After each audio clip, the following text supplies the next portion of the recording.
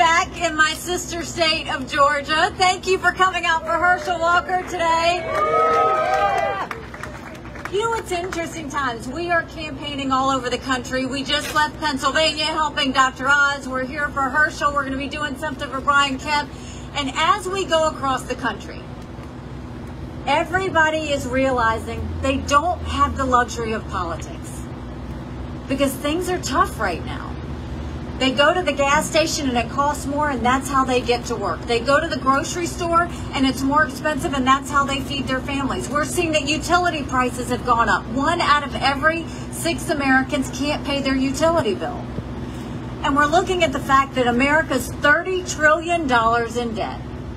We're having to borrow money just to make our interest payments. And what's happening in Washington? Washington continues to spend. Their answer to inflation is to raise your taxes. And they continue to do it without understanding any sacrifices that you're making. Do you know what they spent this past year that Raphael Warnock supported? Two and a half million for bike trails in Vermont. 12 million for a football stadium in New York. 15 million to try and get the World Cup in New Jersey. Six and a half million for golf courses in Colorado. Think about that. Want to get more mad? One billion dollars went to federal inmates. Twenty billion dollars went to illegal immigrants. And if it wasn't so sad, 463,000 went to pigeons learning how to play slot machines. I'm not kidding you. Oh, Raphael Warnock supported that. They don't understand the value of a dollar, and we continue to see it. They're basically taking from people who didn't go to college and saying you have to pay for those who did go to college. They're going and giving these tax credits to buy electric vehicles for $7,500 with people who can't afford electric vehicles. And then their answer, which Raphael Warnock supported, I love Clemson football, yeah, right? And we love playing your Georgia teams. They just now hired enough IRS agents that would fill Death Valley. 87,000 IRS agents? Think about that. They're coming after you to pay for the tax hikes that they just passed. Raphael Warnock did that. Then you go and you look at crime. I don't need to tell you about crime in Atlanta, but you're not alone. We're seeing that crime all over the country. And you've got people like Raphael Warnock who are glorifying inmates, glorifying felons, and they're trying to remove anything that would allow law enforcement officers to protect themselves and to protect you. We're seeing the highest crime we've seen in decades. Something's got to give. And you look at the border, and I see many Indian American people who I know and love and am so glad you came. I take care, my husband and I take care of my parents. They are now 85 and 89. They live with us. They came here from India. They came here legally. They put in the time, they put in the price like all of these people did. My mom, every night at dinner, is so offended at the illegal immigration that continues to cross these borders because they knew what it was like to do it the right way. They don't want to see someone give it a pass. And you look at legal immigrants, they're more patriotic than any of the liberals these days because they love America. And they came here and they're willing to work for what they need. But you look at Raphael Warnock and he believes in sanctuary cities. He believes in amnesty. He believes in getting rid of the rule of law. We can't keep having that. Do you know enough illegal immigrants have crossed the border since Biden's been in office that would create the seventh largest city in America? Think about that. We already know 50 terrorists were caught. How many weren't caught? And then you go and you look at what's happening in education. Everybody's saying our kids are having a hard time because of COVID. We had a problem with education before COVID. Did you know pre-COVID, 65% of fourth graders in this country were not proficient in reading? 66% of eighth graders weren't proficient in reading or math. Now you go and you bring COVID. And think about a child like in rural South Carolina. They're on a screen they've never used before, using a hotspot on a school bus down the street. Now let's assume that child is in third grade. What's he learning? Fractions? Reading? History? Do you think the teachers unions are going to tell him to hold, tell the parents to hold that child back?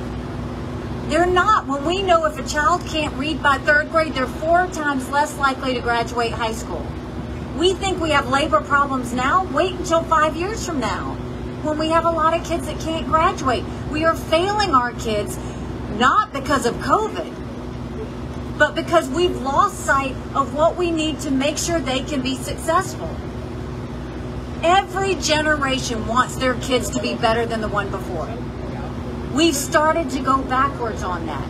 But what's happened? You've got Raphael Warnock, who has supported mandates, supported closing schools, and doesn't want to go anywhere against the unions and actually support the teachers trying to do the good jobs out there. That's the problems that we continue to see. And then we've got foreign policy disasters. No one usually pays attention to foreign policy, but right now everybody can tell we've got different threats throughout the world. And let me tell you, we would never have a war in Ukraine if we would not have had that blunder in Afghanistan. I'm the wife of a combat veteran. Let me tell you, the idea that we left Bagram Air Force Base in the middle of the night without telling our allies who stood shoulder to shoulder with us for decades because we asked them to be there. Think about what that told our friends. More importantly, think about what it told our enemies. You remember the food processing plant and the pipeline that was hacked by Russia? Russia wasn't doing that to destabilize us. Russia was seeing how we would react. Do you know what we did? Nothing. And now you've got Biden falling all over himself to get back into the Iran deal, which Raphael Warnock supports, from terrorists who say death to America every day. And then lead, because we're not allowed in the negotiating room, do you know who the lead negotiator for us is? Russia. We're counting on one enemy to negotiate with another enemy for us? Raphael Warnock supports that. But of all the threats we have, the biggest threat I see facing America is what's happening within. This national self loathing, this idea that America's bad, this idea that America's racist. Let me tell you, my parents came here from India with $8 in their pocket, the same story that so many of you have. They worked hard. They put in all the effort so that their children could have a better life. And their daughter became the first minority governor in America. America is not a racist country. America is a country where I saw and talked to the ambassadors at the UN, and they loved the fact that we had freedom of speech, freedom of religion, freedom to do and be anything we wanted to be without government getting in the way. You've got a distinct difference in Herschel Walker and Raphael Warnock. But I want to say first um, that, especially to the Indian American community that came out, one, it warms my heart that you came.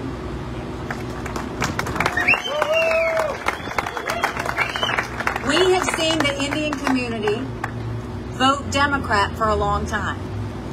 Not because they're Democrats. My parents voted Democrat until Reagan. You know why? Because Republicans never talk to them. Herschel Walker wanted to talk to you. Herschel Walker said he wanted the Indian American community to know that he was going to fight for them too. That's what this is about. And for all of you to give you a little bit about the Indian American community. Did you know the Indian American community is the minority that is the most educated in America? It's the minority that has the highest per income of capita in America. It's the minority that's the least dependent on government assistance. But the one I love the most, the Indian American minority is the minority that is the most philanthropic of any minority in the country. They believe in giving back. But now's the time everybody needs to step up. Because you can go the route of Raphael Warnock and you've had he's he's got a voting record now. He's been for increasing taxes. He's been for regulating and mandating businesses. He's been from taking money from one group and giving it to another. He's been soft on crime. He's been taking government money and spending it like it's not taxpayers, but spending it like it's money that can be had. He started earmark support again. If you're comfortable with that, vote for Raphael Warnock. But if you want something better, not only is Herschel Walker a great football player, wait until you see the moves he does in Congress. Because he absolutely understands the value of a dollar because he had to work hard and earn it. He absolutely will not ever support a tax hike because he knows what it does to Georgia families. He's going to take care of your kids and fight to make sure that parents can see what's happening in classrooms and not have things done behind their back. He's going to support the fact that we shouldn't have biological males playing in girls' sports.